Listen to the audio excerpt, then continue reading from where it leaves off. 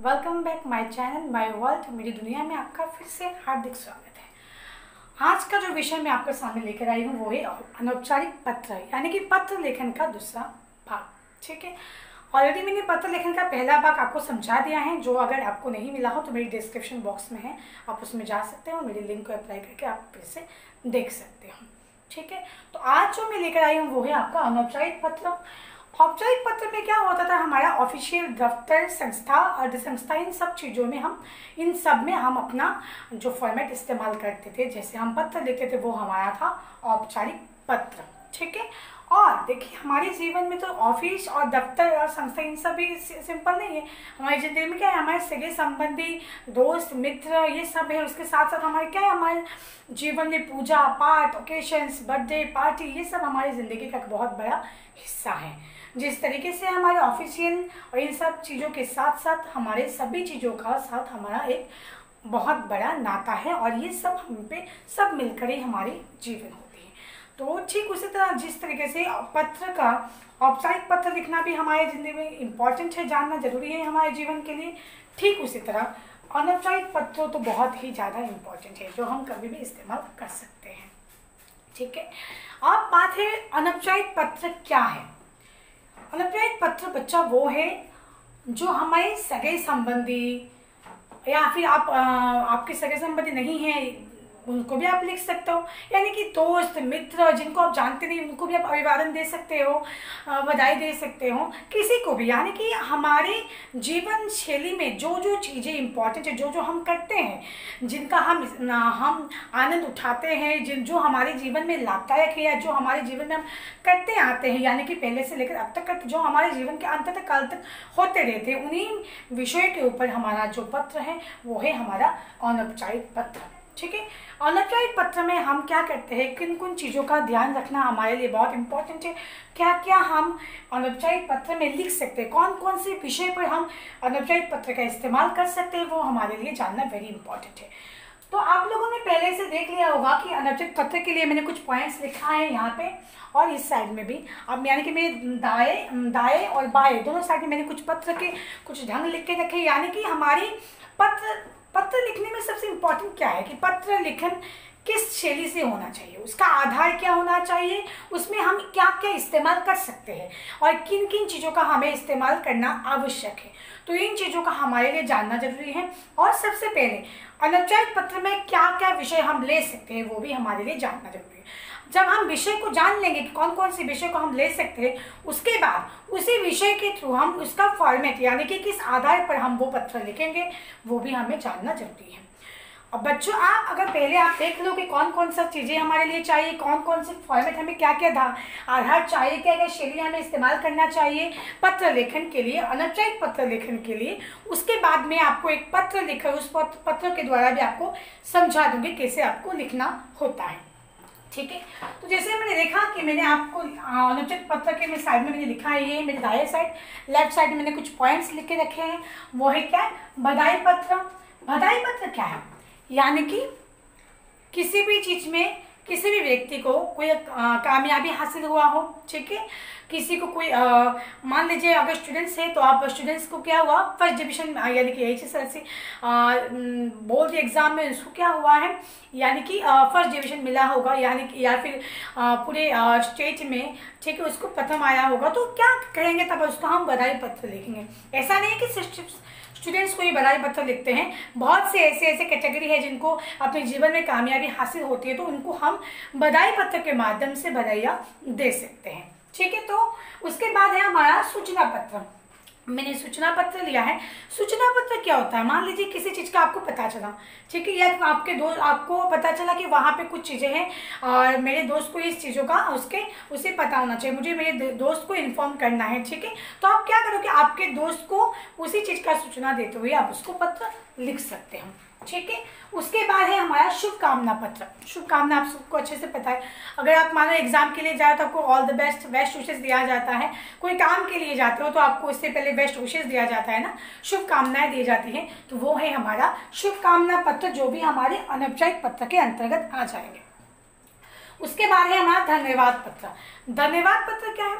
यानी कि मान लीजिए, आपको किसी भी तरीके से किसी ने आपको बहुत ज़्यादा मदद की हो, कोई भी कोई भी चीज़ हो सकती है, उसमें कोई भी विषय, कोई भी टॉपिक हो सकती है, किसी भी हालत में आपको आपको किसी से मदद मिली हो, किसी से कुछ चीज़ मिली हो, या आपको किसी ने कोई गिफ्ट या तोहफा भेजा हो, उसके ऊपर आप उसको धन्यवाद कहना चाहते हो तो वो हो जाएगा हमारा धन्यवाद पत्र।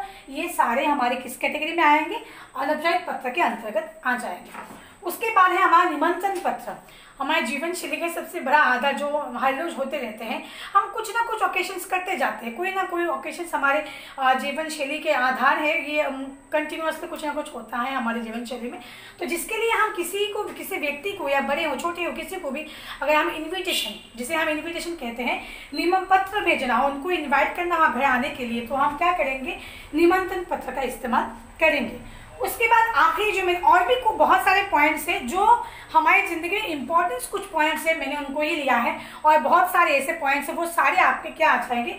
अनौपचारिक पत्र के अंतर्गत आ जाएँगे। लास्ट मैंने लिया है संवेदना।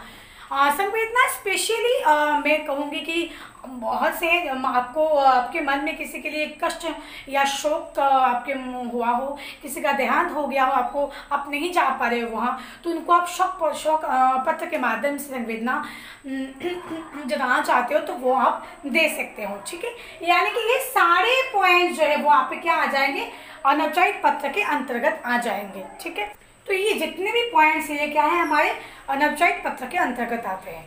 यानी कि आपको ये समझ में आ गया होगा कि अनौपचारिक पत्र में हम किन किन विषयों पर लेकर पत्र लिख सकते हैं। उसके बाद देखिए, पत्र तो हम लिखेंगे, लेकिन पत्र लिखने का एक ढंग होना चाहिए, है कि नहीं? हम कोई भी पूजा पाठ करते हैं या कुछ भी करते हैं तो उसका भी एक ढंग होता है कि रूल्स होते हैं तो उसके नियम होते हैं। ठीक उसी तरह पत्र लिखने के भी कुछ नियम है। ठीक है? हमारे जीवन शैली में कुछ भी हम करते हैं, हर चीज़ का एक कुछ ना कुछ नियम हमारा रहता ही है। है कि नहीं? अगर पूजा पाठ करें तो उसमें वो चीज़ चाहिए, वो चीज़ चाहिए उसके कुछ फूल फूल चाहिए, फल चाहिए, वगैरह वगैरह, जो भी चाहिए। ठीक उसी तरह अगर हम पढ़ाई लिखाई की बात करें या पत्र की बात करें, उसमें भी आप हमारा एक फॉर्मेट एक आधार, एक शैली बना हुआ रहता है, ठीक है? एक नियम होता है। तो ये भी हमारा क्या है? शैली है। तो ये तो पता चल गया कि विषय क्या होंगे, लेकिन उस विषय को हम लिखेंगे किस ढंग से? है कि नहीं? ये हमारे इंपॉर्टेंट है। सबसे पहले होगा हमारा पता। ये पता कौन सा? जिनको आप भेज रहे हो, उनका, नहीं। आपका। ठीक है? ये सबसे पहले क्या होगा? आपका पत्र होगा। आपका आपका पता वहाँ पे, अपना पता होना चाहिए। ठीक है? उसके बाद आपको क्या लिखना है? दिनांक। ठीक है? दिनांक, आपको पता है तारीख, डेट आपको लिखना है, लेकिन आपके राइट साइड में। लेकिन दोस्तों, मैं ये कहना चाहूँगी कि दिनांक कोई कोई जो है वो आपने ऊपर भी लिखते हैं राइट साइड में। ये भी, इसमें भी कोई गलत नहीं, आप लिख सकते हो। और हालाँकि अभी सीबीएसई में जो हो रहा है, वो आप दिनांक हम लोग ऊपर के राइट साइड में ही लिखते हैं। ठीक है? और स्पेशली जो हमारे स्टेट बोर्ड है, उसमें हम यहाँ पे नीचे भी लिख सकते हैं। तो इसमें ऐसा कुछ बड़ी बात नहीं है हम यहाँ पे नीचे भी, इसमें भी इस्तेमाल कर सकते हैं, यहाँ पे भी इस्तेमाल कर सकते हैं। और जैसे मैंने कहा राइट साइड के ऊपर के दूसरे भाग में लिख सकते हैं, वहाँ पे भी आप इस्तेमाल उसका कर सकते हैं। उसके बाद जो तीसरा है वो है संबोधन ठीक है?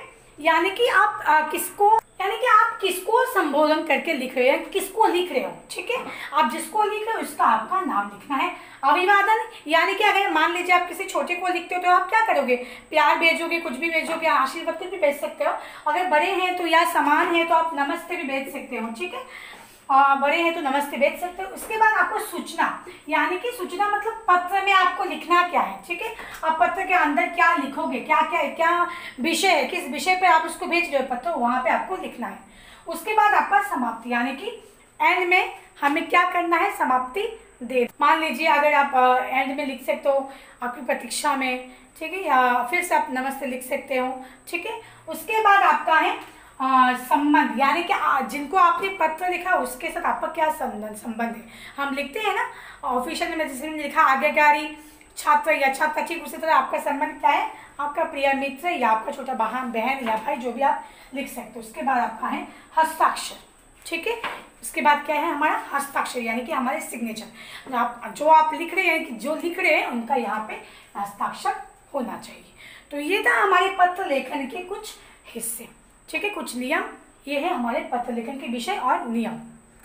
तो आप देख सकते हैं मैंने आपके लिए एक पत्र लिख के रखा है पत्र का फॉर्मेट देखिए ये मैंने लिखा है यानी कि मान लीजिए मैंने लिखा है आ, मैं रिया हूँ और आ, मतलब आ, मैं रिया हूँ और मेरे भाई ने मुझे पत्र भेजा है ठीक है? तो मेरे भाई ने कैसे पत्र लिखा? है उनका एड्रेस दिया है चार यानी कि जो भी आपका है एड्रेस वहाँ का चार जो भी आपका जगह रहता है वहाँ का। फिर कक्षा असम यानी कि आप जिस स्टेट के अंतर्गत और जो डिस्ट्रिक्ट है आपका, वहाँ पे लिखना है। फिर दिनांक। दिनांक जो आप डेट आप कब लिख रहे हो, उसका तारीख। ये दिनांक जिसे मैंने क्या कहा दिया था यहाँ पे अभी आप लिख सकते हो। कुछ लोग यहाँ पे नीचे भी लिख सकते हो, वो भी आप लोग कर सकते हो। उसके बाद पीरियड यहाँ यानी कि भाई जो है वो बड़ा है मेरे से और मेरा भाई मुझसे मेरा आ, मैं प्रथम आई हूँ इसके विषय के ऊपर मुझे पत्र लिख रहा है। ये मैंने एग्ज़ाम्पल लिया है मैं हूँ नहीं ठीक है? मान लीजिए आप उसके बड़े आ, कोई भी व्यक्ति हो वो बड़ा है और उसकी बहन यानी कि छोटी बहन को वो पत्र लिख रहा है और उसके मम्मी के सहारे उसको पता चला कि उसकी बहन प्रथम आई है कविता पाठ प्रतियोगिता ठीक है तो इसलिए बड़ा भाई क्या करता है, इसको बधाई देने के लिए, जैसे मैंने पहला टॉपिक आपको दिया था, बधाई पत्र, उसको बधाई देने के लिए पत्र लिखता है, ठीक है? तो उसने क्या किया, पहला उस अपना एड्रेस लिखा, उसके बाद उसने जो भी आपका एड्रेस का जिस स्टेट या डिस्ट्रिक्ट में है वो आपको लिखना है। उसके बाद आपका दिनांक दिनांक आप यहाँ पे ले सकते हैं, उसके बाद आपका प्यार या स्नेहाशीष या नमस्ते, आप जो भी हैं, बड़े, छोटे, जो भी हो, उनको लिखना है ऐसा, ठीक है? उसके बाद मैंने जो लिखा हुआ आपको सुना देती हूँ। आशा है कि तुम सब स्वस्थ एवं प्रसन्न होंगे। माँ के पत्र समाज, माँ के पत्र या के समाचार में ना कि तुम कविता पाठ प्रतियोगिता में प्रथम पुरस्कार लाई हो। सुनकर मन बाग बाग हो गया। तुम्हें इस पर बहुत बहुत बधाई। आशा है कि भविष्य में तुम इसी प्रकार परिश्रम से कार्य करते हुए कक्षा में भी प्रथम आकर हम सब का मस्तिष्क गर्व से ऊँचा करोगे। माँ और पापा को मेरा प्रणाम कहना या प्रणाम देना भी आप ले सकते हो, ठीक है? आते समय मैं तुम्हारे लिए कुछ लेकर आऊँगा। पढ़ाई में ध्यान, पढ़ाई में ध्यान लगाना और पत्र लिखना, ठीक है? ये था आपका बड़े भाई का, छोटे बहन को बधाई पत्र। उसके बाद बड़े भाई ने क्या लिखा? तुम्हारा बड़ा भाई गोपाल। यानी कि जिनको लिखा, वो यहाँ पे है और जिन्होंने लिखा, वो यहाँ पर है। इस चीज़ को आप इस साइड में भी लेकर आ सकते हो। वो आपकी मर्ज़ी को डिपेंड है ऐसा इसमें कोई कच्चा नहीं होगा। ठीक है? तो जैसे मैंने कहा फॉर्मेट यही था हमारा लेटर का पूरा फॉर्मेट अनौपचारिक पत्र ऐसी तरीके से इसी ढंग से आपको लिखना है। ठीक भराई पत्र के जैसे आपको शुभकामना, जितने भी मैंने विषय दिए हैं, इन सारे पत्र आप ठीक इसी तरीके से लिख सकते हैं।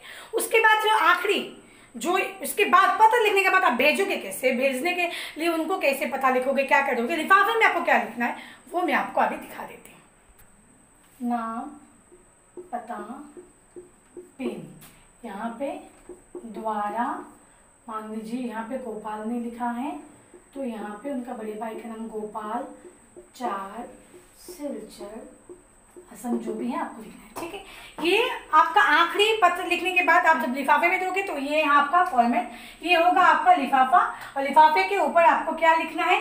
सेवा में नाम, यानी कि जिनको भेज रहे हो उनका, गोपाल किसको भेज रहा था? रिया को। ना, अपनी छोटी बहन तो यहाँ पे रिया रिया का एड्रेस यहाँ पे लिखना है। पिन कोड लिखना, कभी भी मत भूलिएगा, क्योंकि पिन कोड के सहारे ही डाक जो है, जो डाकिया है, वो आसानी से आपका पत्र, पते पर पहुँचा देता है। तो पिन कोड लिखना बहुत इंपॉर्टेंट है। उसके बाद इस साइड में लेफ़्ट साइड में आपको द्वारा, यानी कि जो आप भेज रहे हो किन के द्वारा भेजा जा रहा है, यानी कि आप लिख रहे हो, यहाँ पे कौन था? गोपाल लिख रहा है तो यहाँ पे गोपाल और आपका एड्रेस ठीक है? ये था हमारा अनौपचारिक पत्र का पूरा फॉर्मेट पत्र के साथ साथ मैंने आपको पत्र लेखन का पहला भाग भी समझा दिया और ये मेरा दूसरा भाग भी हो गया कंप्लीट उसके बाद आपको पत्र लेखन के ऊपर कुछ भी आपको जानना हो, समझना हो, आप मुझे कमेंट्स कर सकते हो मैसेज भी करके पूछ सकते हो। ठीक है? ओके बाय बाय आपको अगर मेरी वीडियो अच्छी लगी तो please like share and subscribe करना मत भूलिएगा। Thank you